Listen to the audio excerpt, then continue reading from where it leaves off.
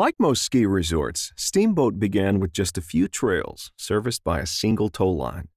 But unlike most major ski slopes, the vision to build what would one day become this vast mountain resort sprang from pioneer skiers viewing Steamboat's potential from an already existing slope called Howelsen Hill, an early run founded by Norwegian Carl Howelsen.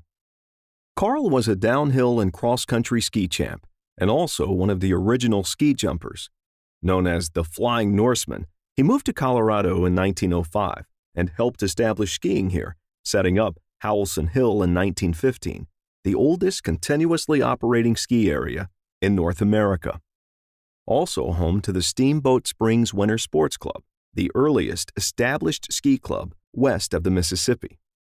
It was from Howelsen Hill that skiers began looking across the valley and visualizing the downhilling possibilities on Storm Mountain, east of town. Steamboat opened in 1963, expanding in 1965 with the development of Thunderhead Peak. Steamboat would be taken seriously as an up and coming area with the installation of a gondola in 1970. Built by Bell Engineering of Lucerne, Switzerland, it reached the top of Thunderhead Three towers supported the bi-cable system, which carried 90 six-passenger cabins.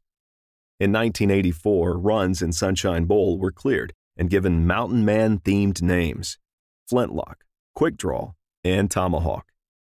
These long, gentle boulevards are a favorite of many, particularly beginners and intermediates who can enjoy what the top of the mountain has to offer without breaking their necks getting down. A victim of its own success, by the mid 1980s, on busy days, skiers faced long lines for their first ride up in the morning.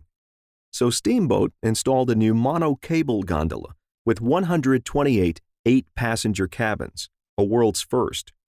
Perfect timing because the next year direct ski flights began in Yampa Valley Regional Airport, just a half hour's drive away. In 1987, snowboarding was permitted, and today the resort's Mavericks Superpipe is one of the premier half pipes in North America.